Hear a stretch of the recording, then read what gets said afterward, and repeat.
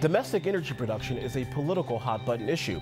While increasing production could create jobs and make the U.S. less reliant on other countries, this hot topic issue often raises concern for the environment. For the next five minutes, we'll discuss domestic energy policy. Hello, everyone, and welcome to Comcast Newsmakers. I'm Robert Traynham, and joining me is Congressman Mario Diaz-Balart, Republican from Florida. Congressman, welcome to the program. Robert, thank you for having me. So this is what we know. We know that uh, gasoline is very expensive right now, roughly about $4 a mm -hmm. gallon. We know that we have a increasing dependency on foreign oil. Mm -hmm. We know, and George W. Bush said this many, many years ago, that we as Americans are addicted to oil. Mm -hmm. What is the solution? It's, it's really a multiple uh, facets that have to take place. Obviously, we have to do more in conservation, more in research, uh, more in alternative fuels. But the reality, Robert, is that we're going to depend on oil for a long time still to go. You know, we're not going to run automobiles on wind or on nuclear or on uh, you know solar. And and so here's what I think is frankly frustrating me is the fact that we have such an incredible amount of domestic energy. It's available, it's there. Uh, it, and, and yet the federal government does not allow the American entrepreneur to tap into well, that well, domestic be, energy. Well, let's be specific. Are you talking about Keystone? Are you talking about ANWR? Are you talking about drilling in the Florida Everglades? I'm talking about domestic energy all the way around, and also, for example, when we talk about Keystone, that's, that's a no-brainer. You know, we're talking about, do we want to get that energy, that oil, because we're going to still have to import oil for a while, even if we, while we tap into our own revenue, our, our, own energy. But do we want to import it from Hugo Chavez's Venezuela or for the Middle East, or do we want to import it from our ally, our friend, our neighbor, Canada? And so the president said, no, we're not going to do the Keystone uh, pipeline. And for the benefit of our viewers, Congressman, not to interrupt you, uh, the Keystone pipeline is a 500 mile uh, pipeline, if you will, that would start in Canada Correct. and would go all the way through certain Midwestern states. To our refineries. To our refineries, to our refineries. In, in, Texas correct. Louisiana. Correct.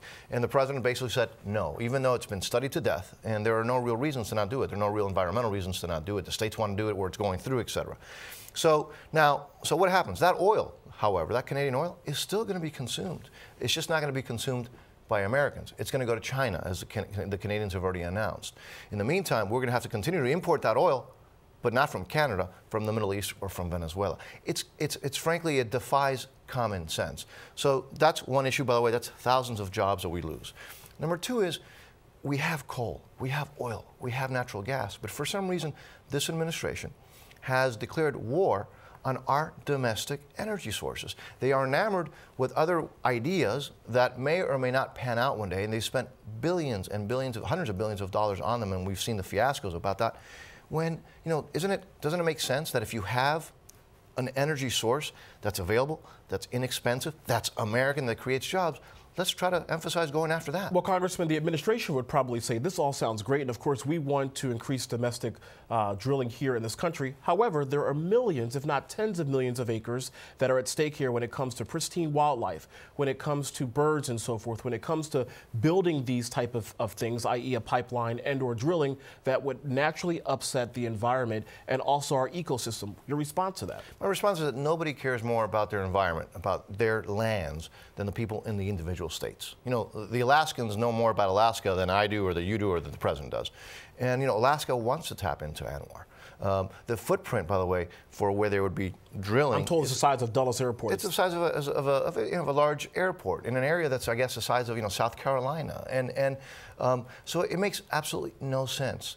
Now, look, we have to do so while protecting our environment, and you know, obviously that's that's that's that's paramount. But you can do both things. Let me give you an example. Nobody has ever criticized Norway as being an environmentally, environmentally reckless country. It's one of the greenest countries in the world, but they depend on offshore oil drilling. They do it efficiently, cleanly. Nobody's ever said that, it that they don't do it that way. So if, if the Norwegians can do it, what are, can the Americans, can we not uh, do what the Norwegians do? We can do it better than the Norwegians. Congress, we have about 10 seconds left. Very, very quickly, do you believe that uh, the prices at the pump will go down uh, come this fall? Very quickly, yes, no? Um, not unless we seriously tap into our own domestic energy sources. All right, thank you very much for joining us. And of course, thank you for joining us for this edition of Comcast Newsmakers. I'm Robert Traynham. Have a great day, everybody. We'll see you next time.